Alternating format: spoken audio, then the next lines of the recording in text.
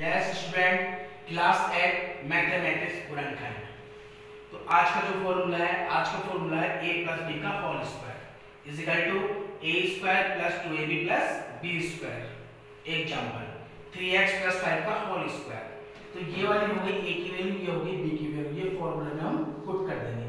Formula मतलब सूत्र. तो हम सूत्र लिख रहे हैं ए प्लस बी का whole square equal to A square plus two A B plus B square अब इज़ इक्वल टू इधर से करना है? कई स्टूडेंट यहाँ से चालू करते हैं बट इधर से चालू करना है। ए की वैल्यू क्या है? थ्री एक्स बी की वैल्यू क्या है? फाइव में क्या कर दो? पुट कर दो। ए की वैल्यू क्या है? थ्री एक्स का होल स्क्वायर यहाँ कोई साइन नहीं होगा कोई साइन नहीं होगा मल्टीप्लाई होता है। तो two multiply three X multiply five और लास्ट में प्लस फाइव का होल स्क्वायर इसको सॉल्व कर दो।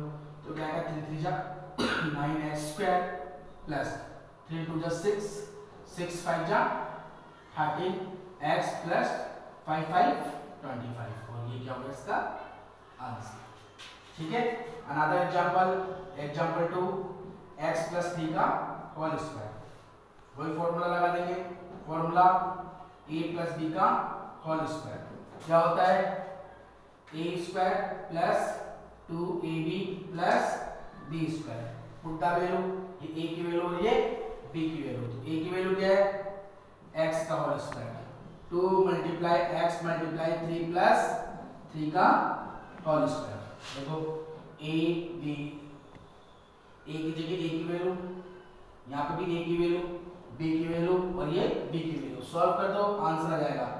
X square plus three two plus six और साथ में क्या है? एक्स तो क्या हो जाएगा? सिक्स एक्स थ्री थ्री जा नाइन ये क्या हो गया इसका?